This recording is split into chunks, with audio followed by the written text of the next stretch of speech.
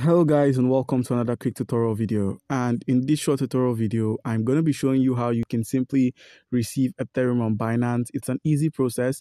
Make sure you have an account on Binance and if you do not possess an account on Binance by simply using our link which is going to be in the description of this video you simply register verify your account and you're going to stand a chance to claim 100 USDT worth of trading fee rebates when you do that.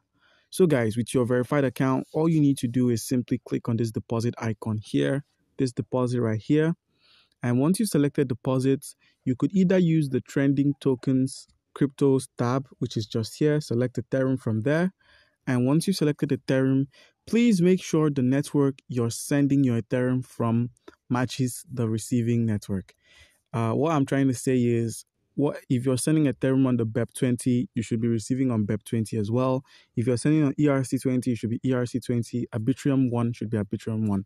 So simply select any of them. I'm going with BEP20. Once it's shown, please make take note of the minimum deposit as it varies from network to network and also the network confirmation too. So all you need to do now is simply click on copy. That's copy this address and paste it wherever you need it to be pasted.